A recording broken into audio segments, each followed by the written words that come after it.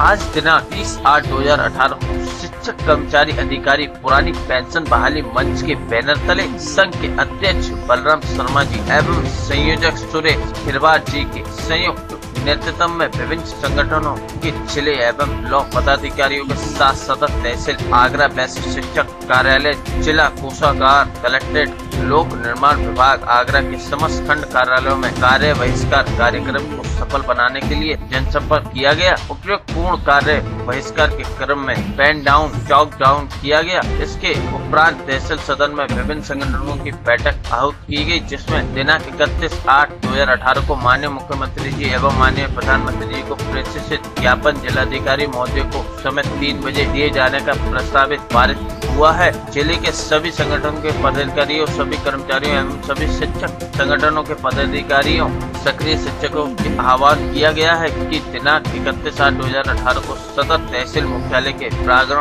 में उपस्थित होकर कार्यक्रम को सफल बनाए। आज के कार्यक्रम में मुख्य रूप से निम्नलिखित सदस्य उपस्थित रहे। राज्य कर्मचारी संयुक्त परिषद, डिप्लोमा इंजीनियर संघ, लोक निर्माण विभाग, प्राथमिक शिक्षक संघ, उत्तर प्रदेश डिप्लोमा इंजीनियरिंग महासंघ, सहायक अभियंता एसोसिएशन, जिला कोषागार कर्मचारी संघ, राष्ट्रीय शिक्षक महासंघ आदि। आज के कार्यक्रम में निम्न संगठनों के पदाधिकारी एवं कार्यकर्ता उपस्थित रहे।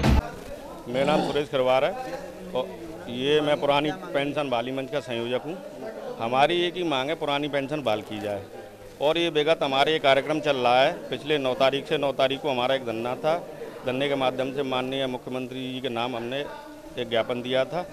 और उसके बाद ये क्रमक हमारा जो उनतीस तीस इकतीस का ये कार्य बहिष्कार का है। इसमें हमारे सारे साथी, शिक्षक संगठन समस्त सरकारी कर्मचारी शिक्षक संगठन हमारे साथ हैं। सारे कार्यालयों में कार्य बहिष्कार है।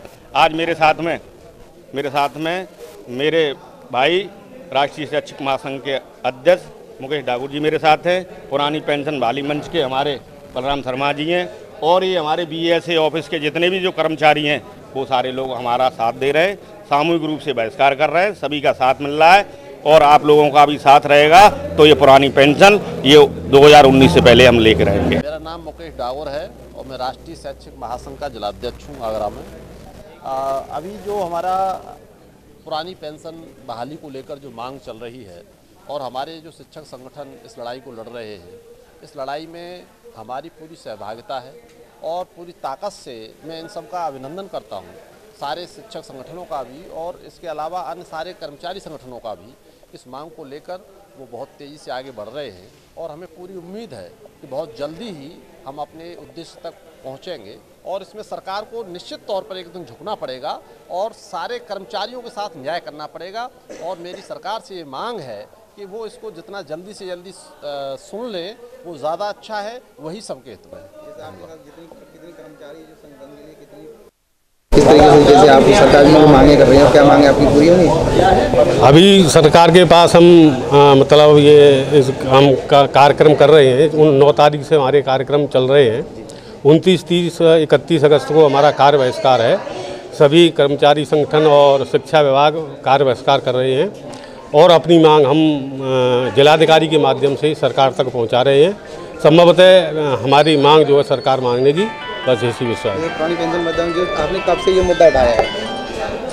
ये मुद्दा चल तो पहले से ही रहा था लेकिन नौ अगस्त से हम विशाल प्रदर्शन कार्यक्रम करते हुए आगे तक ले जाएँगे और ये भविष्य में ये कुछ पता नहीं ये कब तक चलेगा। आगरा से विवेक डोगरा की रिपोर्ट।